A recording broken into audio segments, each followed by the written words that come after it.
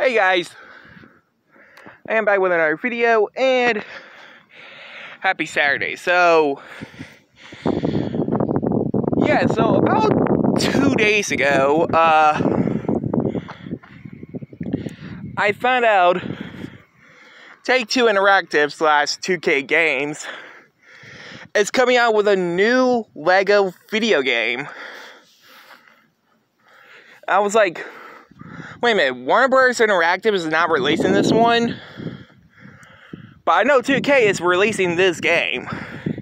You know, take Take Two Interactive. The best selling video game company that does 2K23. Well, most certainly all the rest of the games since uh, 2013. So I real I just found out that they're they're releasing a new Lego game.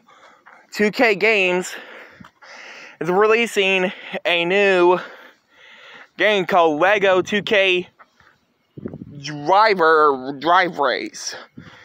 You can watch the trailer right now. It's up on online. And yes, the game won't be out until some point by the 19th of May. Which I think is just weird that 2K is, I'm going to say, probably buying the Lego games. But anywho, let me know your guys' comments down below. Because like, comment, subscribe.